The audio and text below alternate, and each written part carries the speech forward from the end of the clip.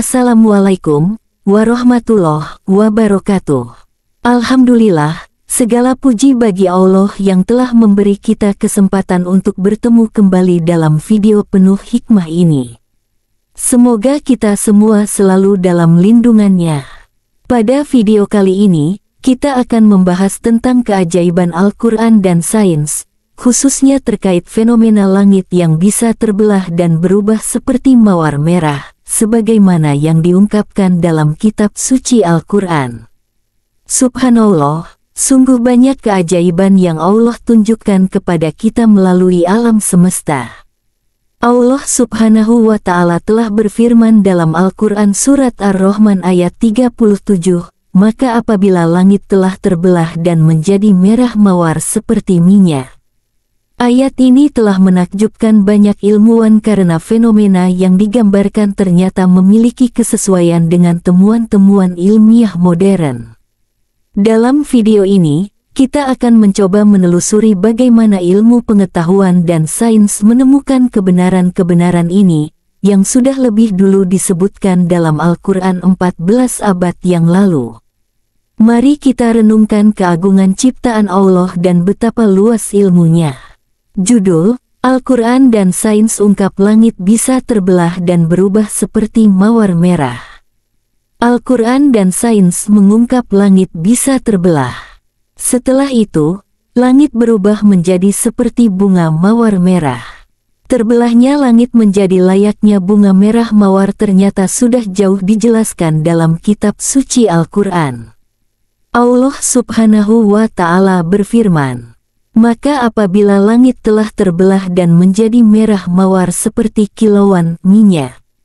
Quran Surah Ar-Rahman, ayat 37 Dilansir, buku pintar sains dalam Al-Quran mengerti mukjizat ilmiah firman Allah, karya Dr. Nadiah Toyaroh halaman 365-367, Ayat tersebut dianggap sebagai salah satu ayat yang mengandung kemukjizatan terbesar di bidang astronomi.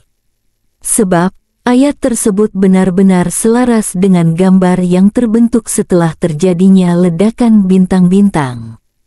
Pada tanggal 31 Oktober tahun 1990, Salah satu badan antariksa terbesar di dunia melalui situs internetnya memperlihatkan suatu gambar yang dicitrakan oleh teleskop raksasa. Orang yang melihat gambar itu secara sekilas tidak akan ragu bahwa itu adalah gambar bunga maor berwarna jingga dengan daun-daunnya yang berwarna merah keungu-unguan, dikelilingi oleh daun-daun kecil berwarna hijau muda, dan di tengah-tengahnya terdapat kelopak berwarna biru. Bunga itu sebetulnya adalah gambar ledakan suatu bintang raksasa bernama Catsai Nebula yang berjarak 3000 tahun cahaya dari bumi. Dalam situs tersebut juga terdapat ribuan gambar berwarna yang dicitrakan oleh teleskop antariksa raksasa. Lalu, apa hubungan gambar-gambar itu dengan kemukjizatan Al-Quran? Kalau meneliti tafsir ayat tersebut, dalam kebanyakan kitab tafsir yang muncul sebelum beredarnya gambar itu, Anda tidak akan menemukan sesuatu yang menghilangkan dahaga Anda atas ilmu pengetahuan. Hal ini karena Al-Quran, sebagaimana dikatakan oleh Sayyidina Ali memiliki ayat-ayat yang belum bisa ditafsirkan. Sesungguhnya terbelahnya bintang sehingga menyerupai mawar yang memancarkan cahaya atau gambar bintang tersebut ketika sedang meledak adalah tafsir atas ayat tersebut. Inilah salah satu bentuk kemukjizatan Al-Quran.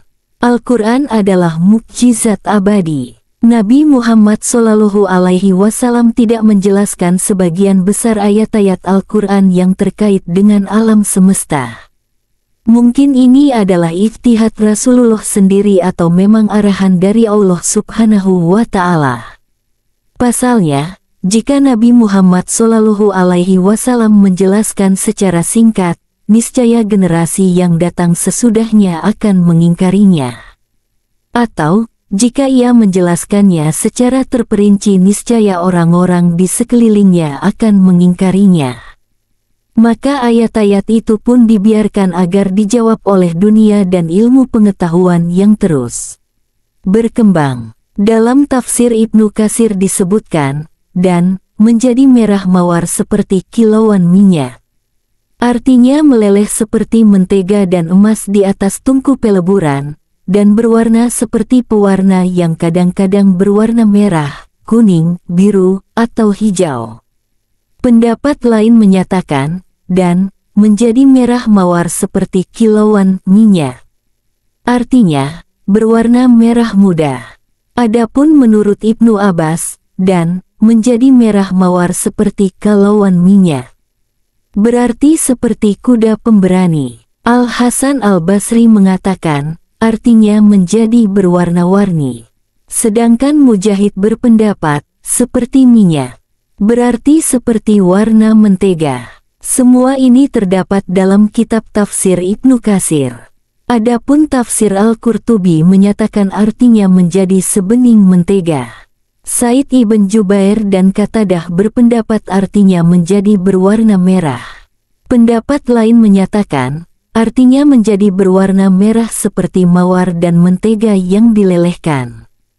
Dikatakan pula, addihan artinya kulit yang berwarna merah murni. Artinya, Langit berubah menjadi merah seperti kulit yang disamak karena panasnya api. Allah subhanahu wa ta'ala berfirman, Maka apabila langit telah terbelah dan menjadi merah mawar seperti kilauan minyak. Quran Surah Ar-Rahman, ayat 37 Hal yang perlu diketahui, Al-Quran adalah kalam Allah Azza wa Jalla dan mukjizatnya yang abadi hingga akhir zaman. Maka, tidak seorang pun pernah terpikir di benaknya bahwa ada suatu bintang yang bisa meledak menyerupai bentuk mawar yang sempurna dengan daun-daunnya yang berwarna merah, kelopaknya di tengah, dan daun-daun yang berwarna hijau. Kalam Allah subhanahu wa ta'ala kini ada di tangan muslim sebagai pedoman dan aturan hidup. Umat Islam yakin bahwa Al-Quran adalah mukjizat ilahi yang diturunkan kepada Nabi Muhammad Wasallam sejak 1400 tahun lalu. Andai kata para ilmuwan barat tahu kemukjizatan-kemukjizatan yang dikandung ayat-ayat Al-Quran, niscaya mereka tidak akan menemukan berbagai aral untuk mendapatkan penemuan-penemuan tentang dunia antariksa.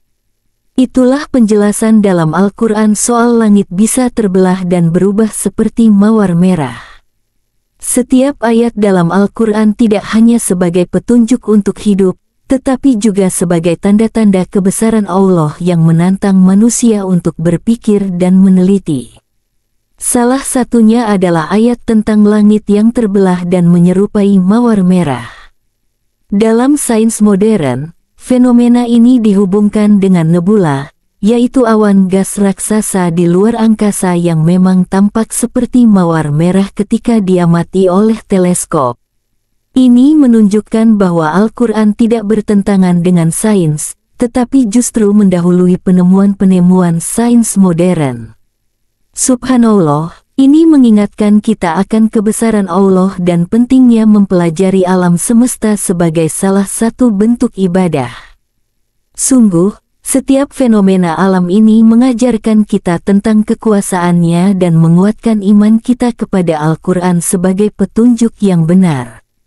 Allahu a'lam bisawaf. Demikianlah teman-teman, Semoga penjelasan ini semakin memperkuat keyakinan kita bahwa Al-Quran adalah firman Allah yang mengandung kebenaran yang tak terbantahkan. Mari kita semakin rajin membaca, memahami, dan mengamalkan Al-Quran dalam kehidupan sehari-hari. Terima kasih sudah menyaksikan video ini, jangan lupa untuk like, share, dan subscribe agar semakin banyak orang yang bisa mendapatkan ilmu dan hikmah dari konten-konten islami. Akhirul kalam. Wassalamualaikum warahmatullahi wabarakatuh. Sampai jumpa.